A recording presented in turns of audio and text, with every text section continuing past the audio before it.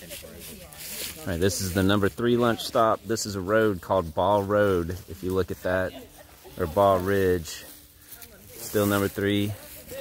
And then that's Baugh Bridge Road right there too, which I think is really cool.